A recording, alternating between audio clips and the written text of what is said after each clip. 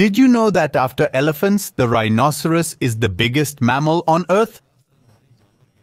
A rhinoceros can grow up to 6 feet tall and 11 feet long. On average, a rhinoceros can weigh between 2,000 and 2,700 kilograms.